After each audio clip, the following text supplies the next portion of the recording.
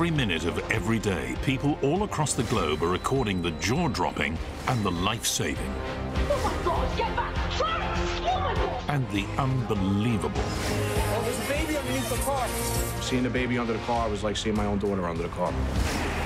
And while footage is being shared online more than ever, we're meeting the people who've captured these once-in-a-lifetime moments. I knew that we were in trouble. Oh, I wonder if I'm going to fall into the slipstream of the aircraft. To get the story behind the footage. What's this? Once in a lifetime opportunity. There's some bird in my car. From death defying escapes. Stop! I started to panic. I thought I was going to die. And incredible life changing acts. I was still shaking for quite a while. Uh, the adrenaline was still popping. I had never flown with Dan before. To heartwarming surprises. And he just asked me to marry him. And uncontrollable acts of nature. I've got 15 minutes max before I lose question. These are the moments you'd never believe if they weren't caught on camera.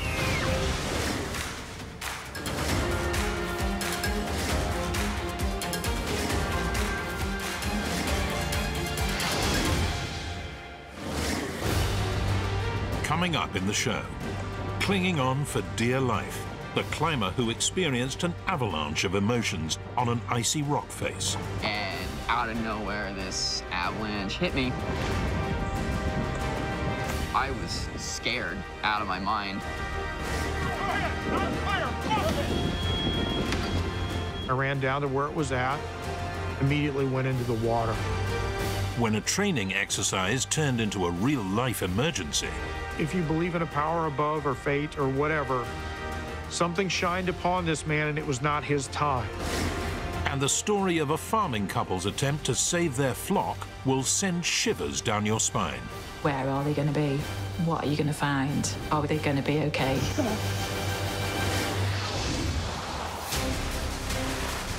Out of control vehicles are very bad news, and not just when the weather conditions are treacherous.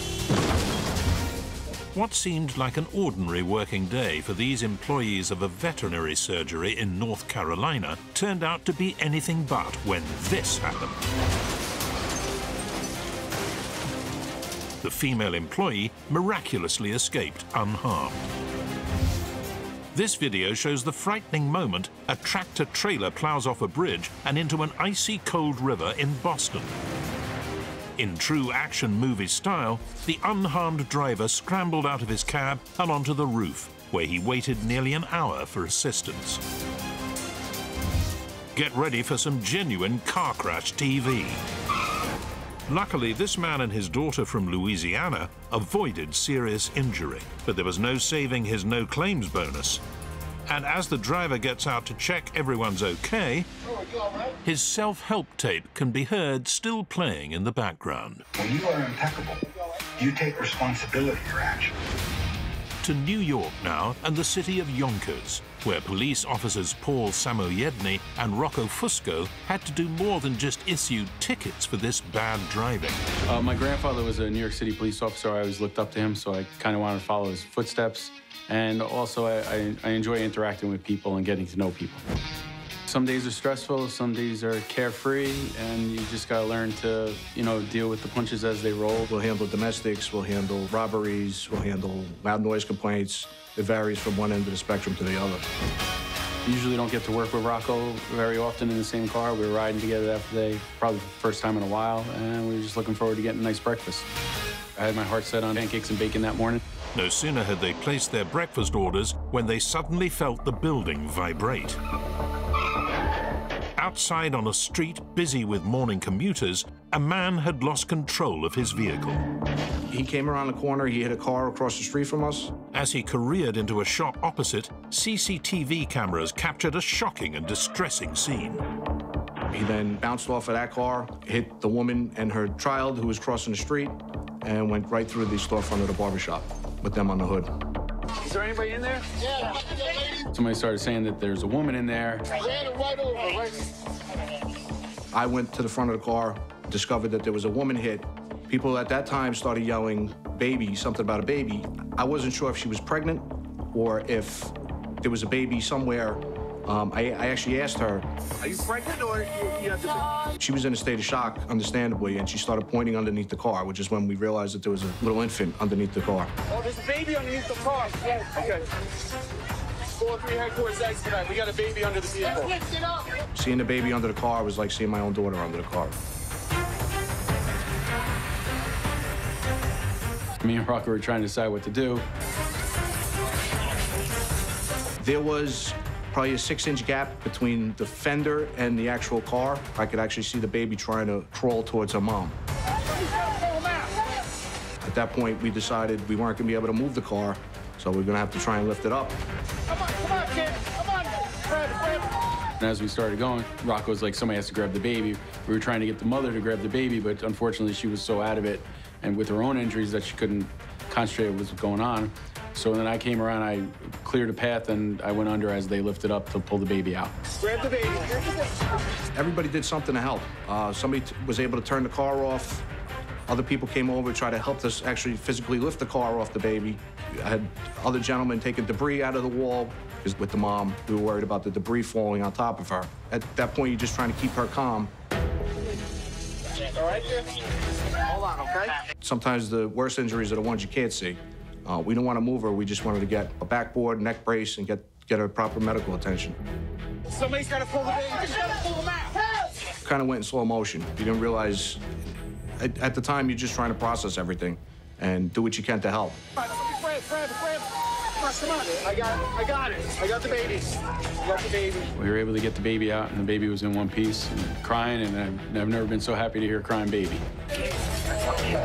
At the time, we were just happy that the baby was crying, breathing, and, and all in one piece.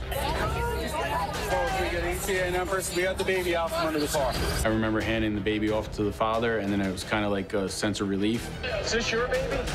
Hold her till the ambulance comes, okay? She was covered in motor oil. At the time, we weren't sure if it was blood, bodily fluid, what, what it was. You could see she had burns all over her body. Behind the leg, too, okay? Just be careful. There might be glass in it. As well as burns, the eight-month-old baby suffered a fractured skull. Her mum was rescued minutes later when the fire department arrived on scene. Her leg was badly broken. All right? Uh, just don't touch me. You good? After we got them to safety, somebody had uh, brought over some gallons of water from the store and I kind of washed off my hands and my arms as they were covered in motor oil. It wasn't me, it was the baby when I grabbed her. And I kind of just asked Rocco if he was okay, and we were both kind of like, did just just really happen? Baby was okay. Baby was. Uh, we lifted the car up. It kind of puts things in, in perspective. Um, life could change in an instant. They were going to the beach that day, and uh, their life changed in a second. And as for the driver, the driver pled guilty to driving under the influence, and he's been sentenced to two and a half years to seven and a half years in state prison. Four months later, both mom and baby were well enough to be reunited with the officers who helped to save their lives.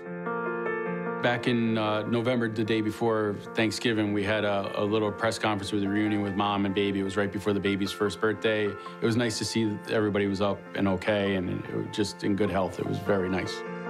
Videos of the incident from the CCTV and the officers' body cameras soon created a lot of online traffic. It's uh, kind of overwhelming, the publicity it's received, and just, you know, the amount of people that want to talk to you about it and ask you questions about it. It's, it's really no other word to describe it. And everybody's always kind of pointing and squinting their eyes, like, oh, you're the guy, you saved the baby, and that, that's always a nice feeling.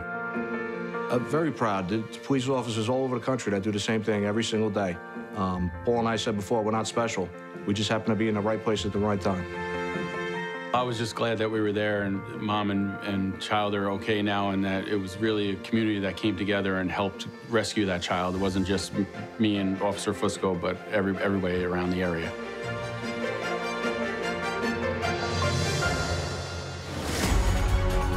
Coming up. We had to act really quickly on this matter. Sea turtles move slowly, but speed was of the essence when trying to save this much-loved specimen. The danger is that she could swallow the net, and this could get completely stuck in her digestive tract. And this adrenaline junkie keeps a cool head under a sea of snow. I was, you know, shaking and freaked out, and I knew if I didn't get that under control, I would probably die. Ever wonder how they measure horsepower? Simple. They race a horse, of course, like this biker. There were long faces all round in this Dutch suburb when a horse bolted from its owner and broke free. Luckily, a passing biker came to the rescue. Eventually, our two-wheeled horse whisperer talked some sense into the equine escapee and won by a nose in this photo finish. Cops tackling crime on the mean streets of Wales. Actually, on this occasion, they're rescuing a playful deer trapped in a child's rope swing. The poor animal is not coming quietly, so the police use all their negotiating techniques to get the beast to cooperate. A kind of good cop, good cop approach, eventually releasing it without charge. And here in California, this animal rescue takes a much more dramatic turn. After a man unwisely races into his burning home to save his dog. The fire crew are shocked, but relieved when the man and his pet dog finally escape. All right, all right, all right. Thankfully, with just minor burns. Time to cool off with a trip to the sea now for some expert animal rescue on the island of Kefalonia in Greece. I'm Anya McKenzie. I've always been fascinated by the sea and marine organisms, which led me to wanting to study marine biology at university. And I have been living in Greece for the last four years, and I work on a sea turtle conservation project. Here in Kefalonia, a team of experts and volunteers work to monitor and support the indigenous sea turtle population, whose habitat is constantly under threat from global warming, tourism, and the many local fishing boats and their nets.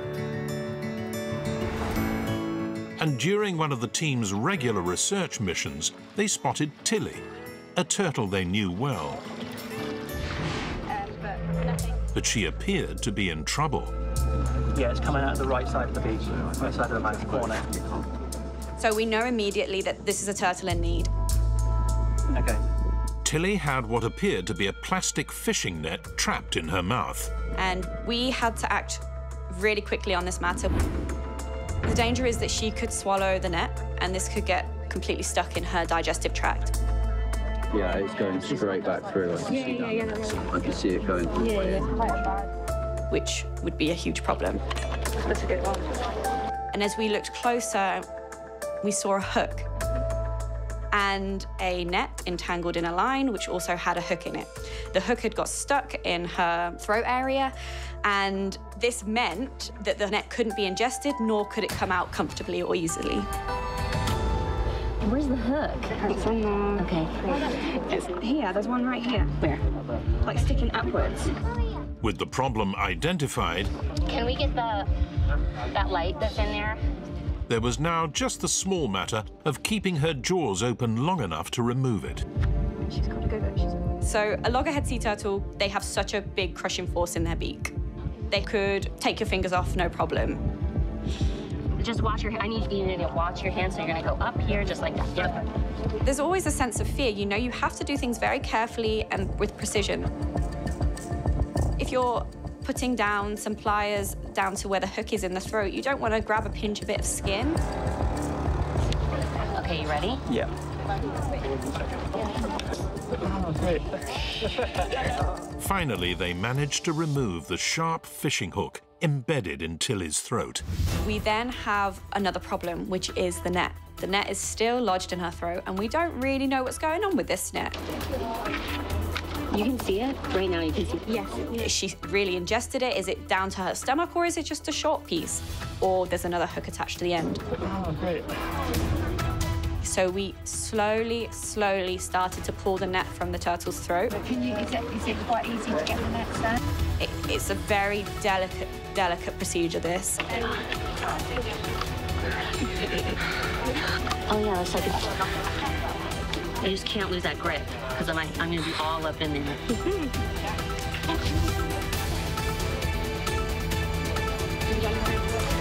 Oh, oh my Oh my god. We couldn't believe it. We got all of the net out, and at the end of the net, there's a huge ball of fish. It was the best feeling. Being able to take that net out successfully, being able to take the hook out successfully, it was the most incredible thing, knowing that we have saved that sea turtle. Okay, girl. Okay, there we go. And Tilly's rescue in particular, because it was just, it was something so different to what we, we're used to. We don't get a net and a hook together usually. You really feel for the turtles. You really feel for Tilly and the fact that the reason that she got into this mess was because of things that we do. Fishing is a huge problem to sea turtles, and it's really difficult to deal with. But because we had that situation caught on film, it meant that we were able to put it out there. And that creates awareness. That allows people to understand the things that we're dealing with on a day to day basis. And, you know, we're just one small project on the island of Kefalonia in Greece. So I'm really grateful for the fact that lots of people have seen this video around the world.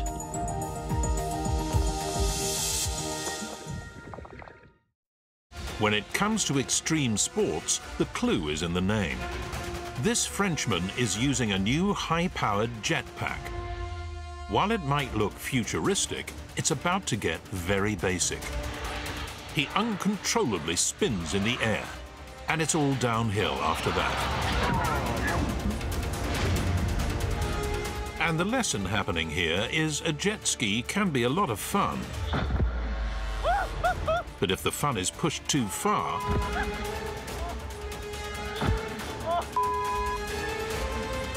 it can be a knockout you never anticipated. And without the help of this handy body cam, may never have even remembered. Thankfully, once his headache, this man recovered enough to post his knockout video online. And finally, jumping off cliffs is not everyone's idea of a safe, healthy pursuit, but if you're going to do it, at the very least, fasten your helmet. And from beautiful British cliffs to the cool Colorado mountains. And a high-altitude adventure with climbing instructor Leland Nisky, a man with a head for extreme heights and hats. Most of my big climbing objectives kind of revolve around me climbing alone on like icy or alpine terrain. I lose myself into the calmness, the aloneness, the sheer unbridled joy of it all. It's one of the things that makes me the happiest in the world. In February 2022, that unbridled joy would turn to terror on a solo climb to the peak of a Colorado mountain range called the Ribbon. I'd always wanted to do it. The weather was pristine that day. It was minimal to no winds. It was a beautiful sunny day. The avalanche conditions were very, very low. It was honestly a very perfect day to be out there.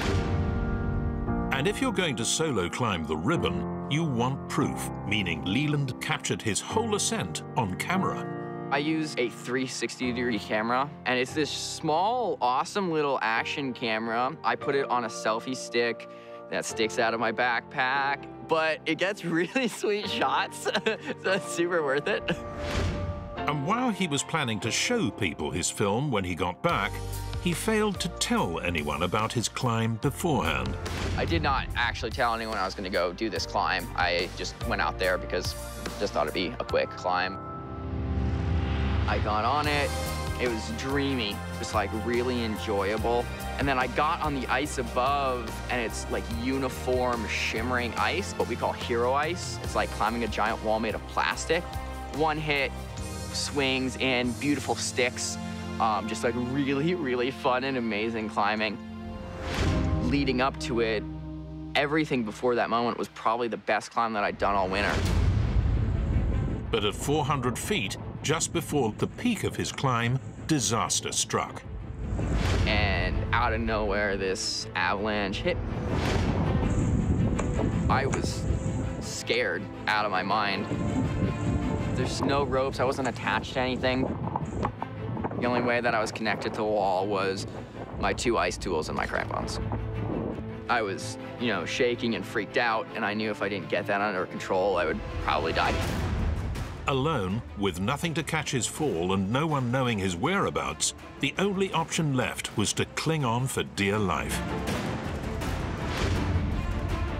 And I was wildly and emotionally hitting, trying to get my tool into the wall with this giant weight of snow, not only pushing me down, but deflecting my tool off the ice. Anytime that I would get close to it, the snow would kind of push it away.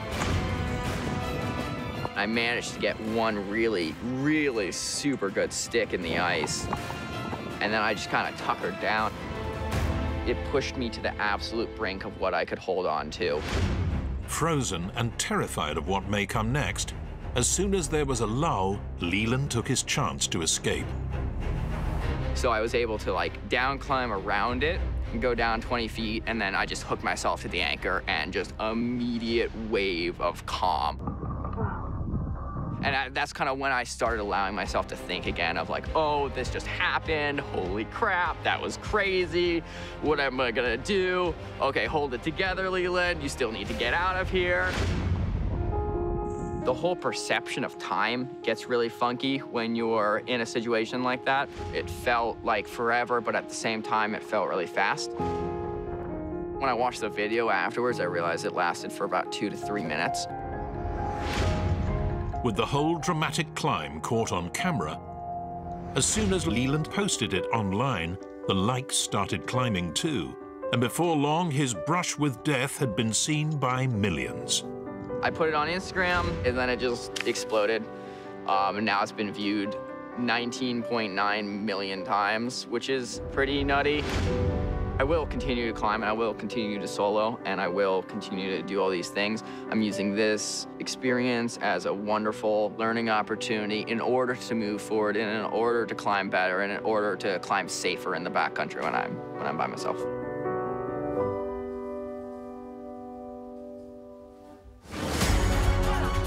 Coming up. I wasn't able to open the door. A humble training video becomes a hard-hitting documentary. And this paraglider has some quick thinking to do when she loses control at 6,000 feet. The glider lost energy, so I just, yeah, fell into the canopy.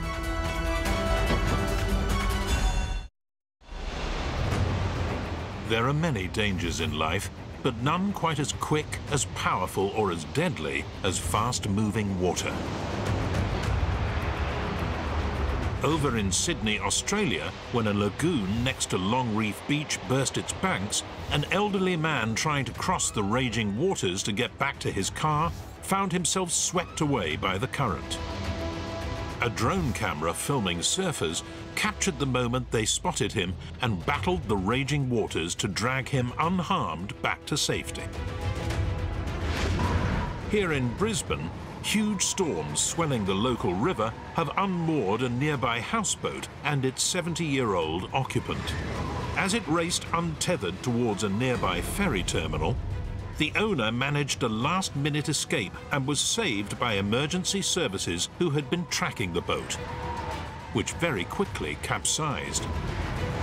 And over in Western Australia, a father and his two young sons were found by police trapped in a desperate situation miles out at sea.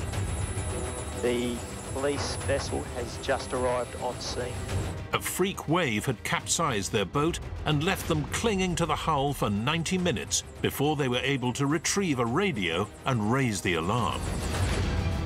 Fortunately, the three of them suffered only mild hypothermia and made a full recovery. To Maryland, USA now, for another dramatic rescue on water. Or is it? The rescue happening here is in fact a training exercise, revealing the work of the local emergency services volunteers. So absolutely nothing to worry about here, right? I'm Martin Walsh. I lead the dive team for the Susquehanna Hose Company. None of us are paid. We're all volunteers. It is not my regular job. I do IT work as what pays the bills and everything else. So this is only work that takes place in my free time. We are located at Tydings Park Marina, which is owned by the city of de Grace. It's classic small town. It's very close knit. Everybody cares about everybody else. We were out here filming a uh, simulated rescue as part of an effort to increase our recruitment and get more volunteers out to give us a hand. We had a kayak with a mannequin floating, and it's a typical rescue for us to actually have to do. But with the film crew still on board, Marty's safety demonstration video suddenly switched to a dramatic real-life documentary and a full-on emergency. This was not a drill. I ran down to where it was at, immediately went into the water. Car that just went off the uh, dock at City Park. A car with an elderly driver inside had inexplicably careered off the jetty and was sinking fast. The boat was able to reposition next to me. I had them get me a line. We immediately tied a line off to the passenger side rear axle so that we would never lose the vehicle. Okay, start me a medic unit right now. Realized I had a single patient, elderly male. I wasn't able to open the door. Then the boat reposition was able to break the window out for me so that I could get a hold of him. I'm clear. Go ahead. The car was now filling with water, making this rescue attempt a terrifying race against time. I was able to grab a hold of the man. Oh, Jesus. And I was able to support his weight as well as mine and swim over to the boat and get him loaded. Thankfully, as well as the dive team, the emergency medical technicians, the EMT, were also on board that day. When he got on the boat and the EMT tells me he didn't inhale any water, I'm like, I'm, ec I'm ecstatic. The patient says things like, I just got the pedals confused. By the time he was transferred to the ambulance, we had a very high probability of a positive outcome. The gentleman made a full recovery. But for a hero like Marty, work is never done. I stayed there and I ran command with my dive team that had recovered the vehicle to prevent the environmental damage to the bay. And later that day, after the footage is posted on the Rescue Service's social media sites, the remarkable work of these volunteers is seen around the world. It's interesting. I'm giving him the instructions and everything else, and you can I never noticed it until now. You see the man reaching across, trying to put the window down. Did I save his life? I was a piece of what saved his life. If I hadn't had the person to break the window out, if I hadn't had the EMT on board, if I hadn't had all the rest of the stuff, if you believe in a power above or fate or whatever, something shined upon this man and it was not his time. And he was very lucky.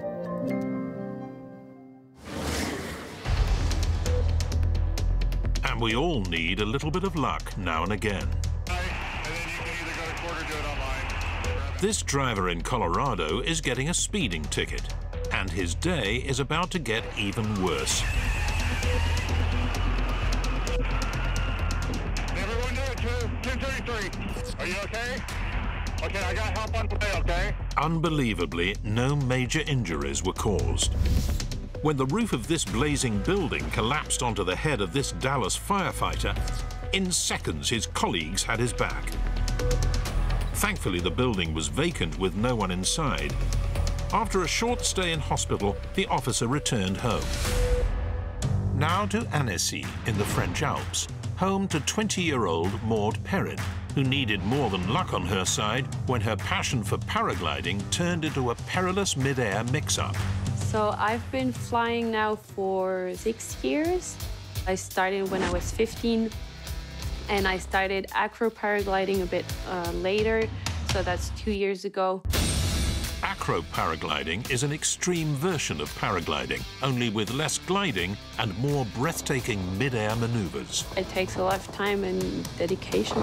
So when I go flying, I film when I do new tricks because that's the moment you do mistakes usually and you want to know what you do. In October 2021, Maud was on a training trip in Turkey. She was looking at a new technique called twisted infinity tumbling, which sounds very difficult and very terrifying, because it is. The first time it went okay. It was not perfect, but it was like not dangerous, like nothing happened. But her second jump didn't go as planned. When she attempted to uncross her cords, disaster struck. So I went for it. I pulled, I don't remember too late or too early, but on the wrong timing.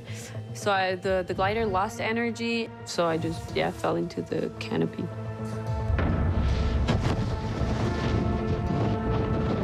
Six thousand feet in the air, and Maud was now hanging upside down and completely tangled in the lines of the glider. Only her rescue parachute could help her regain control, but that didn't go to plan either. So I pulled it and it got stuck.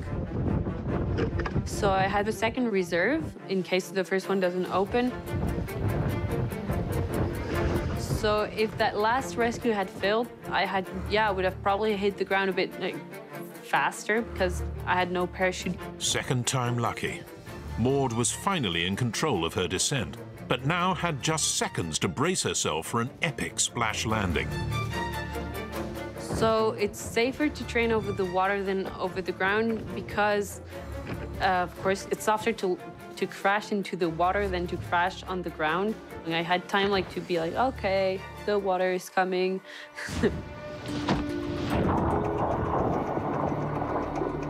course, if you if you stay too long in the in the water, the the water comes into the glider, and since it's a fluid, the glider just starts starts uh, flying, but like in the water and it just pulls you down uh, till, and yeah, you just sink. The rescue boat was quickly on the scene to scoop her out of the water. And once back on dry land, Maud posted the footage of her terrifying free fall on social media. The video ended up online really fast. I just posted it maybe at the end of the day. Oh, my legs are still tangled until I'm in the boat. I'm just like crawling into the boat. Two weeks later, Maud was back in the sky, up to her mid-air tricks again. And this time, it all went to plan. It didn't change my, my outlook on flying, because it's something I know it can happen, and it's fine. Since it's just cause consequence, then you just, yeah, you don't do it again, and, and it's fine. You just learn, actually. Once I tried again in Annecy, it all went well. Now I feel safe to train it over the ground, so it's, it's all good. Coming up, a co-pilot is forced to engage with a very unexpected situation. If controls remain unresponsive, proceed to forced landing procedure okay. on uh, just, just, just stay calm. Oh my gosh, forced landing? we have to put down in a field? This is the moment a woman saw her six-year-old border collie falling from the bathroom window. God, get back! Oh my god! Oh my god! Her quick reflexes meant she caught the dog before it sustained any serious injuries. But it's not only animals of the cute variety we'll go the extra mile for.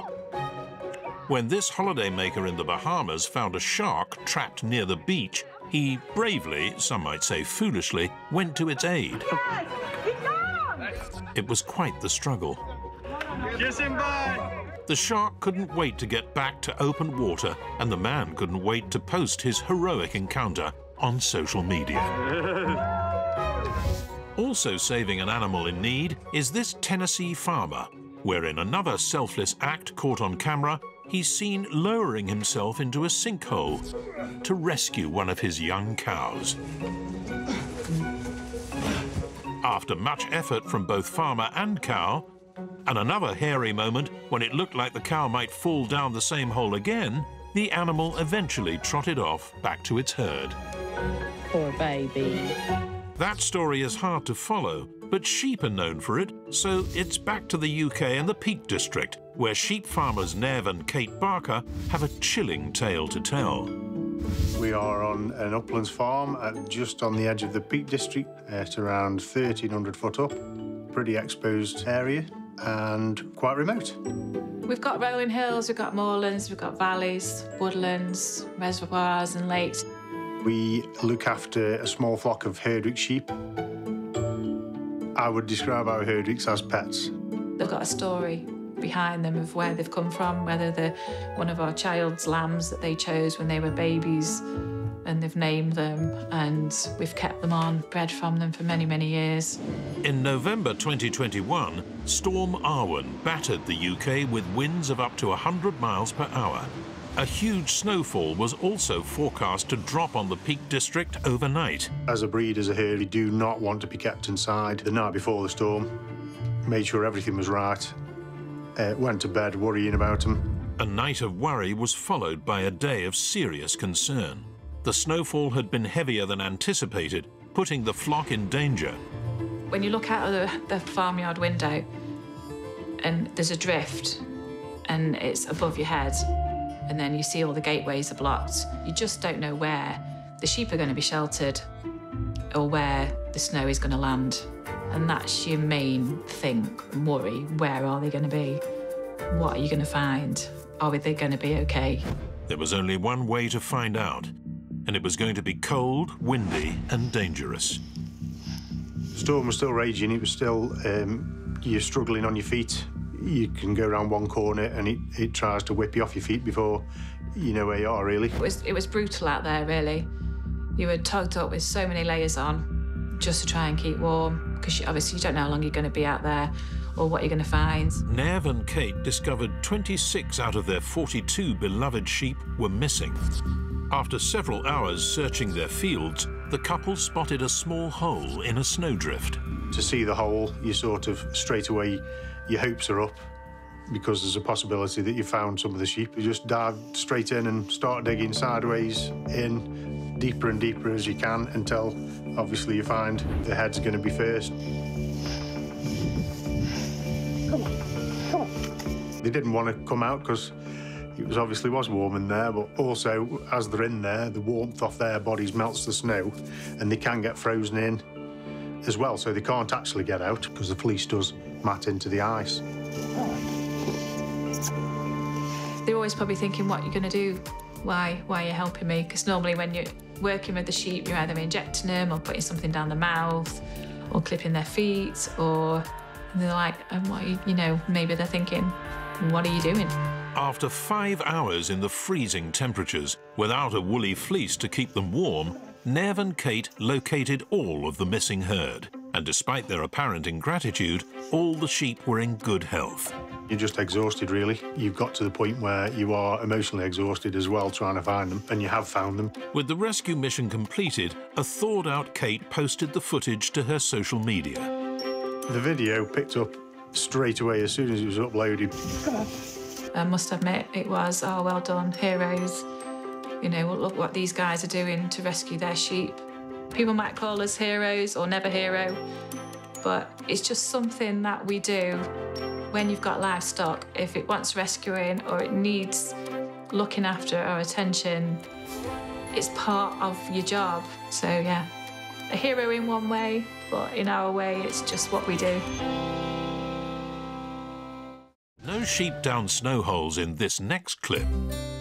We're in the more arid climes of Australia now, where this remarkable display of sheep herding was captured on a drone camera. A farmer, unable to attend his aunt's funeral due to lockdown restrictions, sent this incredible message of love in the only way he knew how. It certainly beats a Zoom call for creativity. Over in Mexico, these tourists were having a whale of a time when this amorous humpback whale popped up looking for a quick smacker. Hello, Senor Whale. But now we're off to Texas, where they like to do things big. And in 2020, military pilot Dan Boog was planning to propose to his girlfriend Jenna, but instead of getting down on one knee, decided on something a little more ambitious. I met Dan through um, an app called Bumble, and it was back in 2017. Jenna was uh, at Oklahoma University. I was studying health sciences, and he was doing his pilot training. The more time went on, the more I got to know him, the more I was like, wow, I really am falling in love with this guy. He's, he's different. Well, she helped me during pilot training. She helped me study a lot. I know I, I'm deployed a lot and gone a lot, and that's that's tough. But she's always she's always there. She's a sweetheart. Two years after they met, he decided the time was right to pop the question. Well, for the proposal, I wanted to do something fun. The proposal was the epitome of Dan's personality because he, uh, I think that's where the military aspect came out because he's a planner. And Dan asked me if I wanted to go back home with him to uh, help harvest uh, with his family because they have a farm in South Dakota. Guys, we're out here getting the flags marked so I can leave a message in the field for Jenna. So once it was all harvested, we put flags down, taped everything off. My dad took a tractor out there with a, a piece of tillage equipment, and we made the message. It took about an hour per letter. and we're trying to get this message, and, and Jenna's calling me. She's like, where are you at? I'm like, hey, I can't be there right now. His sisters were like, let's have a girls' day. And now I know they were just trying to like distract me so that Dan could get the message done. Because pilot Dan had a question for Jenna so big, it had to be seen from above. We actually ran out of time. My, my dad and brother finished Jenna's name while I was getting the aircraft ready to go. So I'm glad everything was spelled right, everything was good. I had never flown with Dan before. I told her, hey, I'll, I'll take you out um, to eat. We'll go fly somewhere, and uh, I'll, I'll bring my little sister. Laura was in the back seat. Are you feeling okay? Yeah, yeah, are you? Yeah. It's still kind of a windy day, so that kind of contributed to kind of setting the stage for everything. Not getting your response out of the controls. I pretended to not have any response out of the uh, one of the flight controls. What do you want me to do? Stay calm. It all seemed very plausible that we wouldn't be having response with the controls when something is wrong with the wing when it's really windy. Can you pull out that checklist? I uh, took a, a 172, a Cessna 172 checklist, the aircraft that we flew, and I put it in like a PDF editor, and I just changed some of the words. I helped Dan a lot with his pilot training, so I had done that several times. So I'm reading the checklist. And read off the steps to me. Verify flight ring. Engaged. Okay. And I didn't really realize what I was reading. Ring engagement process. I was reading like ring process, initiate. Initiate. Engaged. Okay, it's initiated. It did not cross my mind at all. Still not getting any response. Just hold on. I, I wanted to stay calm. I, I didn't want anyone to start screaming. He's like, okay, read about forced landing. If controls remain unresponsive, proceed to forced landing procedure Okay. on follow. Uh, just, just, just stay calm. Oh my gosh, forced landing? like we have to put down in a field? I can't control it. I have to go put down the field. I kept reading. Will the pilot in command love the co-pilot forever? Okay, Okay. keep going. And it just was a complete switch because I was like, oh my goodness, to wait a second, I think something's going on here. Look over right wing. I look out to the right. and that's where um, I see the message in the field and it says, marry me, Jenna. Will you marry the pilot in command? Oh my goodness, this is really happening. And he just asked me to marry him. Yes. That's when I started like getting choked up. It was a big day, an important moment. When we landed, it's like my mom's gonna freak out. I wish she were here. I knew it was going to be important to have her family there. It was a surprise. They were waiting when we got back, and that worked out perfect. And they were all holding signs like congratulations. And my dog was there, and it was so sweet. I felt so special. Soon after, Dan's military career would see the couple separated, but his epic proposal was still on his mind. I was actually deployed in Africa, had some free time, and I put it on TikTok. Next thing I know, there's several hundred thousand views. It went viral on TikTok. It was on Facebook. So many people commenting. I think a lot of the comments are like, oh no, she didn't have a choice. She was up in a plane, like she had to say yes. And it's like, of course I would say yes. He knew I would say yes. If she had said no, I didn't really have a plan. It was all or nothing for me. A parachute would seem like the only option in the event of a no, but soon it was wedding pictures being posted online. We had our wedding in August 2021, and it was in Tulsa, Oklahoma, which is where I'm from. It was beautiful. Looking back, I feel amazed that he pulled off such a, you know, elaborate proposal. And I'm very impressed that he do something that was so special.